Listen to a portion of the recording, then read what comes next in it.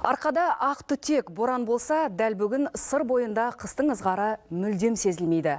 Ауа райы жылынып, тіпті дарияның деңгейі айтарлықтай түсіп кетті. Жылда сірескен мұз қатып, арнасы ұлғаятын өзен суы қазір бір қалыпта ағып жатыр. Бұған мамандар не дейді екен? Өңірдегі тілшіміз айтады.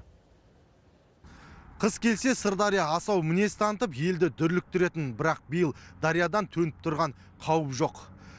Тек аймақтың солтүстік аудандарында өзен бетіне мұз қатып шабындық жерлерге жайылды. Ал оңтүстік аумақта сырдың деңгейі айтарлықтай түсіп кетті. Оған себеп Шардара су қоймасынан төменге ағып жатқан су мөлшерінің азаюы дейді мамандар.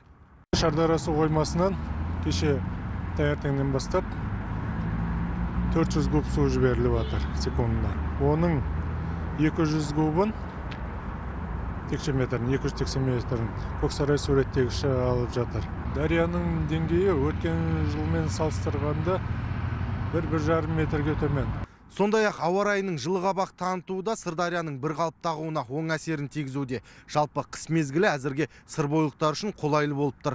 Қақаған аяз жоқ. Синоптиктер қаңтардың соңғы аптасында күндіз 7 градус жылы, түнде 10 градус аязды көрсетіп, жауын шашын, тұман, көктайғақ болады деп болжам жасап отыр. Қызылордадан Әділбек Сергұлы, Нұрлыбек Нұрмахан, Қазақстан ұлттық телеарнасы.